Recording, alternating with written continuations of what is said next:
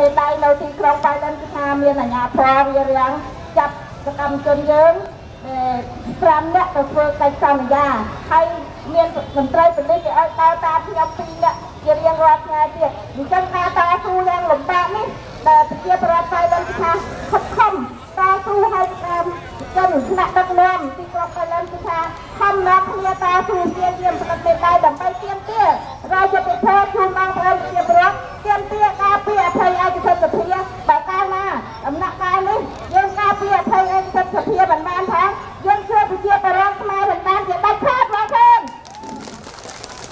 អញ្ចឹងហើយថ្ងៃនេះខ្ញុំសូមអំពាវនាវបងប្អូនប្រជាប្រដ្ឋអ្នកដឹកនាំសង្គមជាតិយើងធ្វើដើម្បីជាតិដើម្បីប្រជាប្រដ្ឋផ្លាត់ក៏ដើម្បីជាតិដើម្បីប្រជាប្រដ្ឋថាព្រះសក្តិប្រទេសកម្ពុជាឲ្យចូលក្នុងរងជារៀងរហ័ស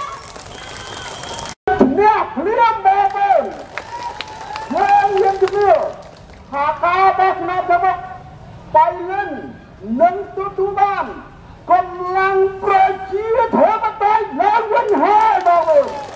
សូមអរគុណច្រើនបាទសូមអរគុណឲ្យដល់ផងដែរ